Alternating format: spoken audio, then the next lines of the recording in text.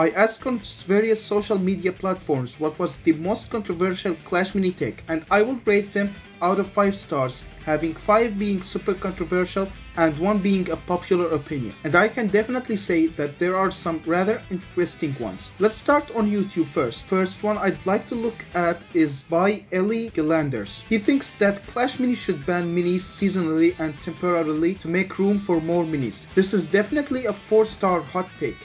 I don't know how I feel about this. I probably would disagree because I feel like we literally don't have enough minis right now, let alone enough to think about banning some. I feel like banning heroes and minis would be lame and I would rather have season bans on things like gizmos or special tiles or maps or stuff like this. Next one by Chicken Little and he thinks they should expand on the PvE side of the game as much if not more than the online play. I feel like 3 stars is fair for this one. I would half agree half disagree with this as I feel like he's got a point in the game having potential in PvE but at the same time the mobile market just doesn't really look good for PvE games and for PvE games to be considered good you need like a strong story and probably a price tag on the game itself. Lazy Turf Battler says that the game's percentage chance of going global is going down with every update delay. I think that's a middle ground 3 star as some people think it will 100% go global and some people think it will not. I would say I disagree with this and I feel like his opinion is coming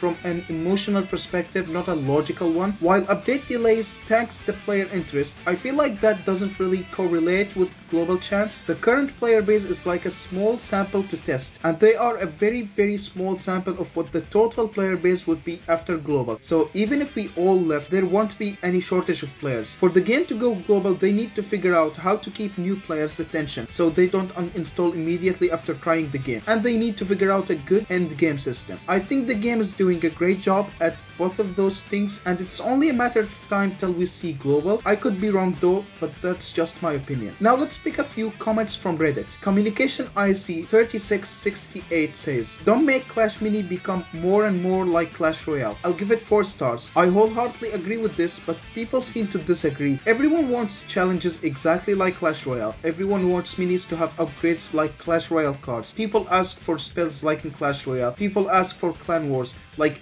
guys, we don't have to straight up copy Clash Royale. We have made some unique stuffs like raid and gizmos and special tiles. Even the win streaks are a cool unique system to gain trophies that's not available in other games. Benny the Boss 07 says any stun over 1 second need to be removed. This is a 2 star because I see stuns get a lot of hate. Personally, I have always hated stuns in games because it makes you feel helpless. Like getting stunned by Frank in Brawl Stars, you can just like leave the game man. But I would disagree with this because in Clash Mini you don't directly control the character so it doesn't feel as frustrating as it does in other games. I think they should stay but also the game can benefit from not being completely stun centered. The new Healing Ranger upgrade was a great step to counter this problem. Finally, let's go to Twitter. Frame says that it often is a skill issue. This is a 5 star level controversial comment because I constantly see a lot of people complain about the game being a casino simulator. But in all honesty, I've had times where I completely outskill the opponent and win without luck. Notice the detail in how he said often instead of always though because like some matchups like Shield Maiden Double Heal versus Archer Queen are just unwinnable and losing uh,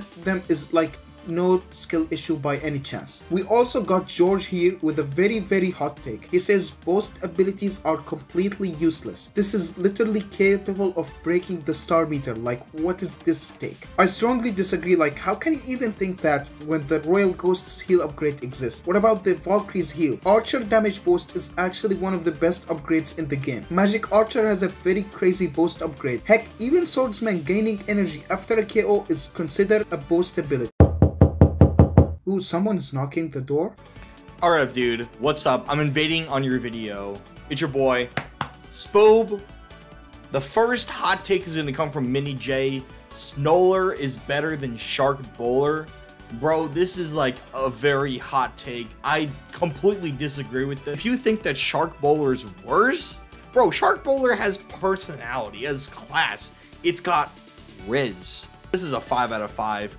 Super controversial. I think Shark Bowler is better than Snowler. And if you disagree, I mean, you better you better buy some toilet paper from the store because I can smell you from here. Second, opinion is coming from Merez. Golden Giant always has been the best tank in every meta since release. We need other tanks as good as Golden Giant, perfectly balanced. I definitely do agree, Golden Giant being one of the best tanks in the game. I'm going to rate this, honestly, a 1 out of 5. This is not really um, a hot take, but comparing to other tanks within the game, such as Guard, Knight, they only have kind of one ability. They don't typically have that heal until you really, you know, kind of invest into that unit versus Golden Giant can be a perfect, you know, zero star mini. Clash Mini, take some notes. You guys done a very, very good job with how you guys built Golden Giant's kit and how he pretty much evolved from season two to season six. So I gotta say, congratulations. Last one I gotta say is be Archer should be deleted. This is definitely a hot take. I would disagree with having her being deleted, but I would agree that she is very annoying. I feel like that what it needs to do is have one arrow to the back line and one arrow to the front line to chip tank minis, but also put pressure onto the back line. But yeah, I would definitely rate this maybe a 4 out of 5. Thanks for having me up, dude. I appreciate it. Have a good one, everybody.